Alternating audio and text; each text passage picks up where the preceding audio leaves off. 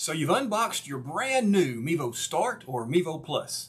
You're ready to conquer the live streaming world. You want to make your live stream look pro, the best it can possibly be. Today I'm going to walk you through the adjustment settings in the Mevo 2.0 app.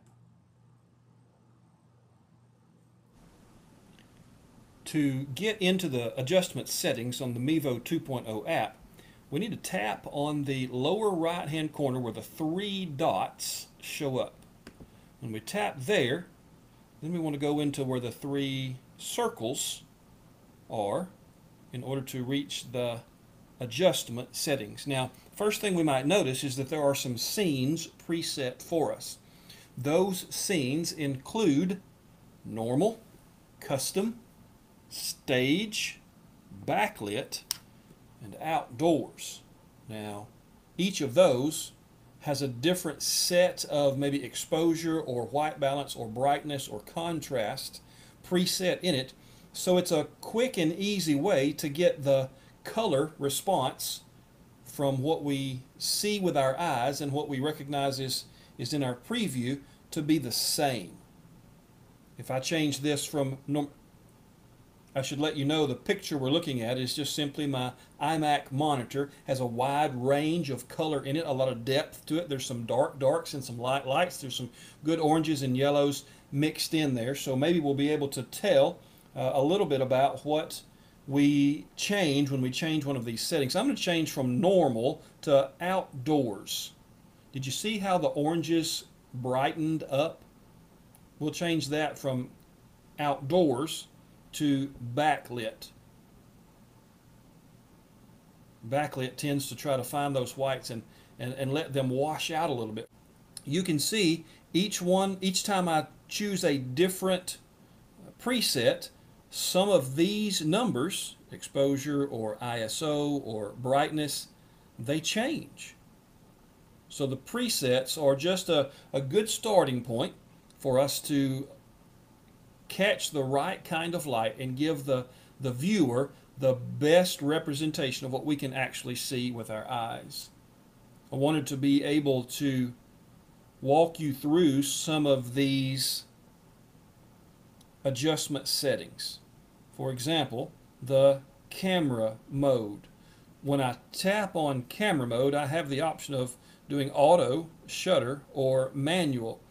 When I choose shutter, it opens up the ability to change the shutter speed, which lets in more or less light at a time.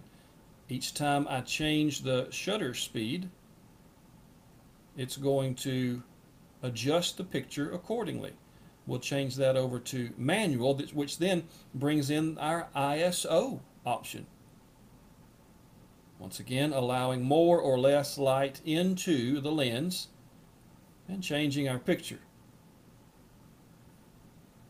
It can also have a, a direct impact on how crisp our picture looks, especially when there's movement. We'll put that back to auto because that's where we started. When I move over to exposure and tap on that one, it can go negative and that will dim things a little bit. We can go positive, and that will mm, almost brighten things up just a little bit. We'll put it back to zero where we started. Shutter and ISO are only accessible when we choose the correct camera mode. When I get into white balance, here's another set of presets. It starts out on auto. That's the default in the Mevo 2.0 app.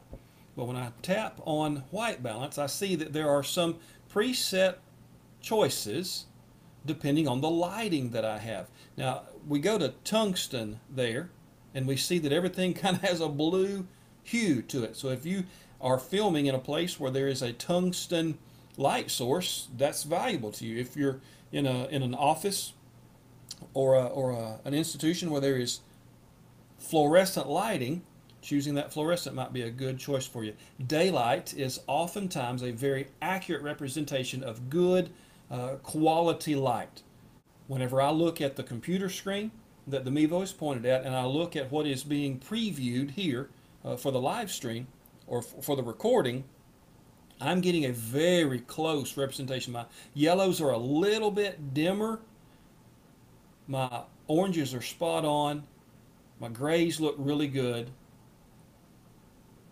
My blues are a little bit uh, a little bit less than, but this is really close to what I'm seeing on the computer screen. And then we can move into cloudy, which is a, a good outdoor, and that's that's actually a very very close representation to uh, to what we what I see on the computer screen as I'm looking at this. So white balance is just one of those things you check each one, test and see which one gives you the best option depending on the circumstances you are recording or streaming from. Brightness, of course, displays colors as shades darker or lighter. So when we make the change for those settings, we see an obvious difference. Just going a little bit this way or a little bit that way uh, makes a, a, drastic change. Contrast, low contrast always looks flat, but high contrast looks more lively in regard to clarity. So uh, mo moving over and changing that contrast is something that can be done if we want to uh, bring the darkers bring the dark colors darker and the light colors lighter or we can we can uh, we can go the other direction and we get very little difference. I didn't mean to make it all the way to zero zero but you can see that that's a much flatter picture there. I don't remember what contrast was on. It was probably on 1.1 so we'll put it there. That's a pretty close representation to what we're seeing. Saturation then involves the depth or the intensity of the color. Uh, more saturation is vibrant. Less saturation is muted. So to pull this a couple of tenths one way or the other is going to change. Oftentimes recognize it as reds being brighter or, or more red in a uh, in a picture if I if I run the saturation number up. Our sharpness gives uh, uh, uh how much control the edges of the pixel have. Uh, higher sharpness is going to have a, a higher edge to those pixels pixels. A lower sharpness is going to be a little fuzzier uh, at the edge of those pixels. And medium is a good place to stay if you are uh, if you're just streaming or recording. Uh, that's that's generally where uh, where we're going to find ourselves staying in sharpness is, is medium, unless you have an incredibly intense light uh, that, that you are able to pour on there, and you may get to change that setting a little bit. Our view angle is basically a preset crop, uh, but it also has to do with the shape of your lens. So for example, when we move over to view angle and we choose, we, we started with flat. Now that's not the default. The default is normal in the Mevo 2.0 app, but uh, flat is the, is the truest picture of a, of a scene like this. So when I choose flat and I change that from flat to narrow, we're going to see it zoom out just a little bit. We have more picture of the mountain now. We have uh, uh, the width of my uh, desktop there. Uh, we're seeing more of the picture on narrow than we were on flat. Flat is, is that, that preset that is basically zoomed in as far as it can.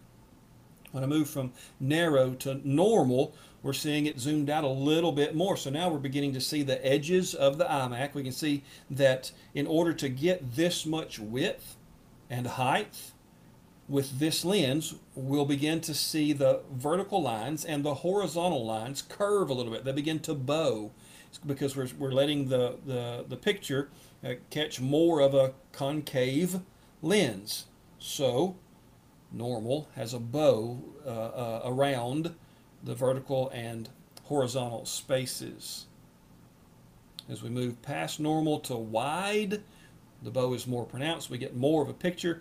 If I'm going to, uh, if I'm going to zoom in to certain uh, uh, certain subjects in my recording, then using a wide angle is valuable. You don't notice near so much of the bow if I'm just going from shot to shot, to, from one uh, one subject to another. I can move it around and still have a good quality picture just if I zoom all the way out, it becomes obvious.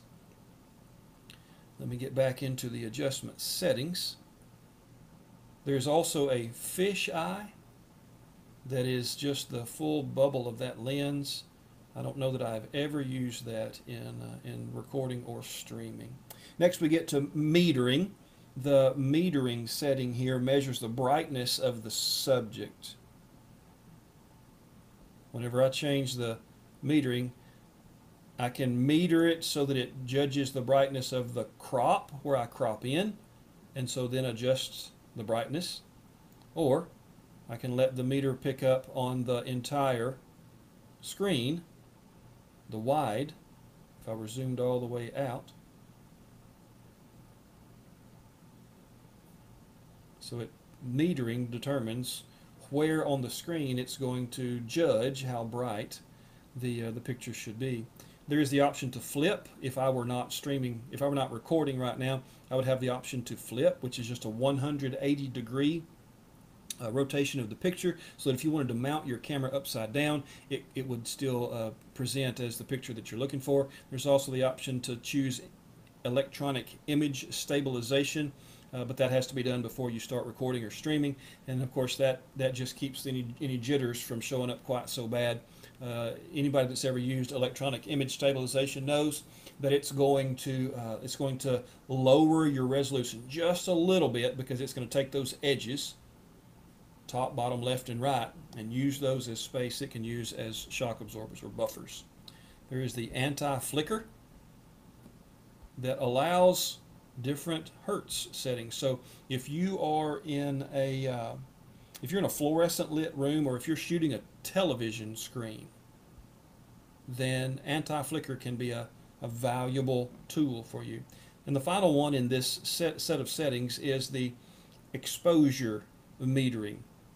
So when you're in shot, especially if you have a person as your subject, and their skin tone is different from the background or the foreground or even their own shirt, exposure metering can, can help you keep their skin tone looking natural. You can choose it to be the center, the center of the shot. So if you're zoomed in, exposure metering here is going to find the, the, uh, the hillside there that's being zoomed in on, and it will use that to judge how much exposure to use. Uh, you can choose average. It's going to look across the entirety of that shot and it will it will use that to, to determine the exposure or it can be spot which is going to find that center I don't know how big the center is but it's going to find that center and it will it will uh, change the exposure accordingly now the the couple of other settings that we have not covered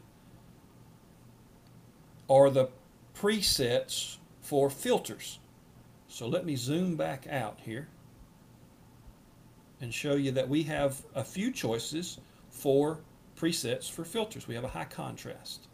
When I choose the high contrast, you'll notice that it did literally change the contrast up. It also changed the saturation up. But we could also go the other direction we could choose flat as a preset.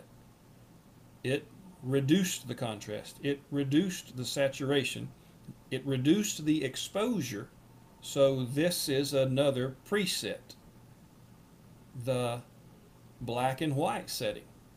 If you want to go a little old school and have that kind of, uh, of, of recording or stream, then that's available to you. If you want to go vivid, vivid is, vivid is going to uh, is going to change and, and bring out the color, uh, bring out those reds. It's it's gonna gonna it's gonna pop on your screen, and then you have the sepia or sepia that is uh, is the uh, old west as what I always think of whenever I see that uh, that filter being used on.